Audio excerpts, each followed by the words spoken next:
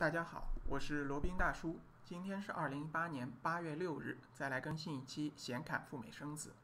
呃，今天的节目呢，想要从一则消息谈起啊。就二零一八年六月，就是今年六月份呢，呃，一所名校，美国的名校芝加哥大学 （University of Chicago），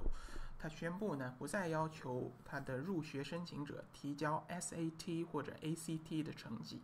SAT 和 ACT 呢，就是呃，美国美国的大学申请人想要进入美国大学提交的一个成绩测试，呃，都是有差不多的一个效力的。SAT 呢是叫 Scholastic Assessment Test，然后 ACT 呢叫 American College Test，都是这个入学考试的一个测试。那芝加哥大学的招生办说呢，呃，非常支持这一举措，不能因为学生没有考到理想的成绩就把申请人给吓跑了。然后他还说了一句非常著名的话，或者非常令人有争议的话，叫“申请不会定义你，而是你定义了申请”。那说到这里呢，罗宾就有点想爆粗口了啊！你去申请一个大学，你不看成绩，看什么呢？而是你定义了申请，这是什么歪理学说？反正听上去呢，完全就是像白左的那一套，就是什么 When they go low, we go high，就完全没有什么意义的。说出来好像很光荣伟大，但实际上呢，没有说任何的东西。嗯，那取消这个 SAT 或者 ACT 的成绩，需要的话会造成一些什么样的后果，或者会有什么样的影响呢？我们先暂且搁一搁，再看看其他的一些消息啊。首先呢，芝加哥大学说，我不是不允许你们提交这个成绩，我只是说你们提交申请的时候可以不附上你们的 SAT 或者 ACT 的成绩。然后呢，呃，现在在美国国内有一千所大学左右啊，不再要求这个成绩，不再把它作为一个强制的要求。那芝加哥大学呢，可以说是领风气之先，它是属于名校当中第一个明确的取消了这个分数的。那像其他的一些常春藤的大学，比如说这个布朗大学、普林斯顿大学、耶鲁大学之类的名校呢，它是取消了 SAT 和 ACT 当中的呃论文的一个成绩考试，就是 essay，它的这个成绩它不再强制要求了。呃，用人话来讲是什么意思呢？就是说申请美国的大学成绩不再重要，重要的呢是你的课外课外的一些。呃，经历，呃，课外活动的一些经历，然后其他的一些，比如说体育啊，呃，爱好啊，呃，这个社工活动啊，呃，或者说你个人的一个族裔啊，这个后面要重点讲啊，你个人的皮肤长什么样子的，还有呢，你的性格，还说你跟其他人沟通或者他人对你的一个评价，作为一个更重要的一个因素来考核。那早些时候啊，在 SAT 和 ACT 没有取消的时候，他们美国的高考的这个呃形式是怎么样的呢？首先呢，它虽然那个时候大多数学校都是强制要提交 SAT 和 ACT 考试成绩的，但是呢，不像中国，我们国内就是高考考一次，一考定终身。那是呃，只有少部分可能觉得第一次高考不满意，然后再第二次重新高考。美国呢，它本身就有非常多的。呃，考试的机会，SAT 呢可以考七次，ACT 呢可以考六次，而且呢可以把这些考试的分数当中最好的挑出来进行相加，就是说你发挥的最好的一次拿出来作为你的成绩。那在很大程度上呢，就解决了你万一发挥的不理想，然后就本来有很有机会进名校的，然后就进入了一般的学校，给了这些发挥不稳定的学生一个很好的机会。然后申请美国大学，这里说的是本科啊，那需要提交一些什么材料呢？就包括高中的一个成绩单，然后高中的一个学校的推荐信，还有呢就是这个是针对国际生的 TOEFL 或者雅思的成绩，还有呢就是 SAT 和 ACT 的成绩，另外呢还包括课外的活动经历。成绩和获奖的情况，比如说获奖证书的复印件啊，你写的书啊，或者写的作品的作品集啊，呃，你或者呃你的音乐啊，你做的音乐作曲的，或者你演奏的音乐的 CD 啊，然后再加上呃这个前呃考试考试中心的老师对你的一个个人评分评级，所以说呢，它是一个综合考察的过程，完全不只看一个因素或者成绩啊。那有非常多的中国的申请人，他呃，TOEFL 考了满分，SAT SAT 考了非常好的成绩，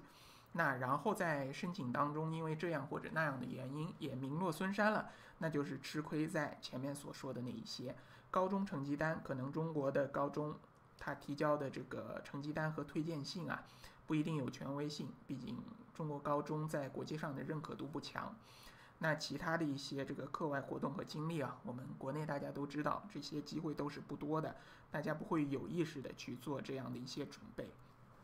然后美国的学生。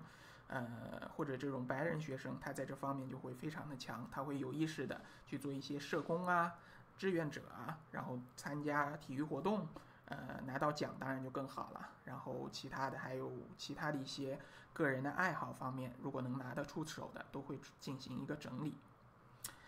所以说呢，即使是在以前，呃，申请美国的高校。呃，都是一个综合的过程。对于我们像亚裔或者说华裔来说，考试能力非常强的，其实在申请美国的高校的时候，优势并不是那么明显。呃，但是呢，即使是这样啊，其实在以往呃十几二十年前，华裔申请美国大学还是相对来说比较容易的。但是随着现在这个美国国内啊，它这个风气越吹越歪，对于华裔以及亚裔这个歧视越来越深。那对于这个 SAT 和 ACT 成绩的权重越来越小了，对于其他的主观性的评价呢越来越高，所以说华裔或者亚裔在美国大学，尤其是名校的申请当中吃了非常大的亏。那有一个研究表明啊，那如果的呃是光看成绩或者说成绩的权重比较高，那亚裔的录取的人数啊，可能要比现在实际的录取人数至少要翻个两三倍左右。由此可见啊，我们受到的这个歧视和压迫有多深？这帮人他们是多么的，就是虚伪啊！那罗宾在前几期节目也提到过这样的情况，包括哈佛大学在内的一些常春藤大学常春藤大学啊，在录取杠过程当中会系统性的歧视亚裔美国人，特别是华裔美国人，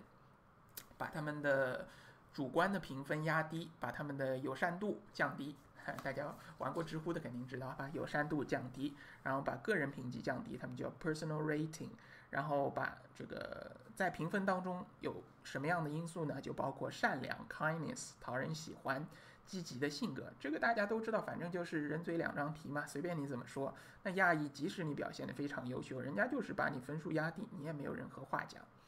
那发展到现在呢，就有点愈演愈烈，愈演愈烈了啊！就是直接把这个 SAT 给取消了，你不不一定要提交，那不一定要提交，那些考分不高的那些同学当然欢欣鼓舞了。作为亚裔、华裔，我们考试比较强的，呃，自然这方面就被削减的更加多了。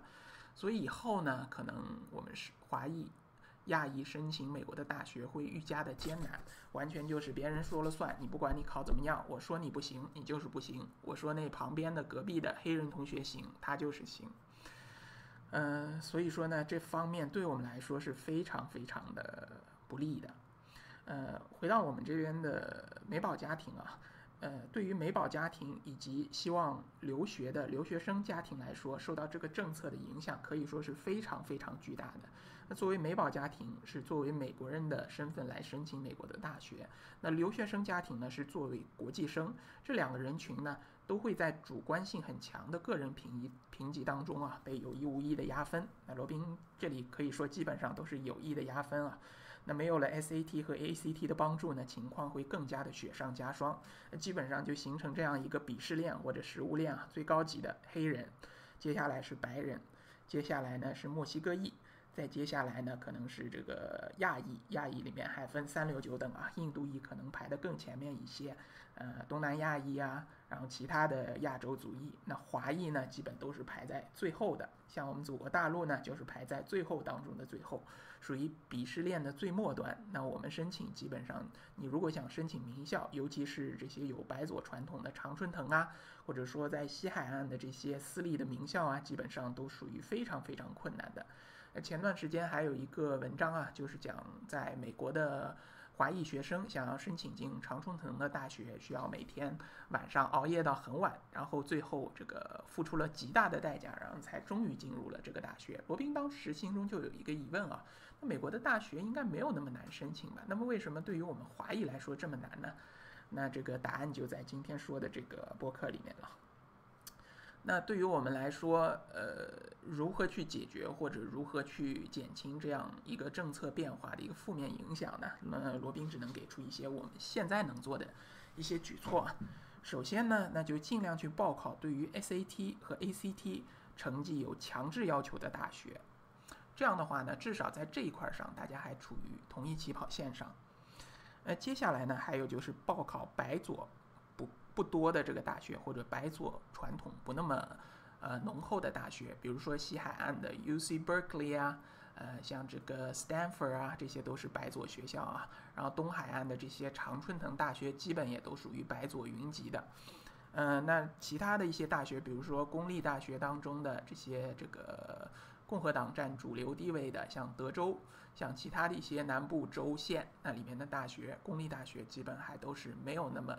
呃，白左氛围浓厚的。那至少可以有一个相对公平的申请环境。另外有一点很重要啊，那要去多多的发声，在美国的呃媒体上也好，在这个社交媒体上也好，在主流媒体上也好，要多多的发声，不要让主流社会呢忽视我们忽忽略我们亚裔或者华裔的声音。呃，毕竟呢，自救才是王道啊。一个是尽量的绕开这些对你有歧视的大学，呃，对你有歧视的地区；一个呢，就是要积极的自救，让美国社会听到我们华裔的声音，尽量把这种对我们不利的影响给扭转过来，或者不至于太过恶化。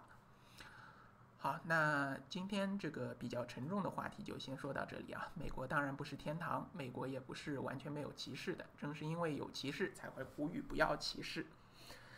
好，那今天呃，显卡赴美生子就差不多了。那如果对于赴美生子或者呃去美国移民比较有兴趣的小伙伴，可以来联系罗宾。罗宾的微信号呢是八二七四七九七零八二七四七九七零。罗罗宾可以为大家提供赴美生子的一个咨询辅导服务，当然是要收费的哈。罗宾还可以为大家提供赴美生子城市间的代办服务，以及 B1、B2 签证的代办服务。另外呢，罗宾还还是一个南太平洋小国瓦努阿图共和国的一个移民代理，可以为大家提供瓦努阿图的一个移民，包括入籍，也就是拿护照，以及永居，也就是拿绿卡的一个服务。如果有这方面的需求，也欢迎来联系罗宾。罗宾另外还有一档播客节目叫《显侃日本》啊，是一个日本资深自由行深度游玩家的身份为大家科普日本那些事儿。如果有需要的话，也可以订阅收听罗宾所有的播客节目呢，在喜马拉雅 FM、蜻蜓 FM 以及 iPhone 上的播客 App 上面都有更新，欢迎大家订阅。好了，那这一期的显侃赴美生子就先到这里，我们下期